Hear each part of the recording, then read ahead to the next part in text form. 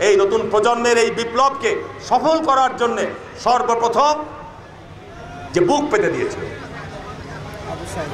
যে বুক পেতে দিয়েছিল, আবু সাইদ। পুলিশ দাঁড়িয়ে আছে।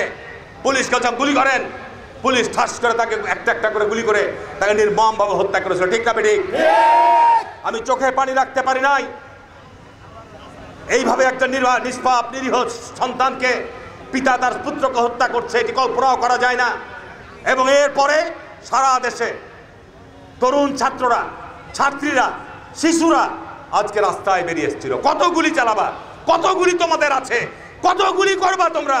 এইরকম একটি অবস্থার মধ্য দিয়ে এই দেশ থেকে এই হায়নাদেরকে তাড়িয়ে দিয়েছে। আমি দাবি করব আমাদের উত্তরাঞ্চলের ছেলে এবং এই আন্দোলন সংগ্রামের প্রথম শহীদ, যেখানে আমাদের তত্ত্বাবধায়ক সরকারের প্রধান জনাব ডক্টর ইউনুস গতকালকে ওনার বাড়িতে ওনার কবর জিয়ারত করে এসছেন আমি দাবি জানাব যে, জনাব, এই আমাদের শহীদ আবু সাহিদের নামে যমুনা ব্রিজের নামকরণ করে দেওয়া হোক।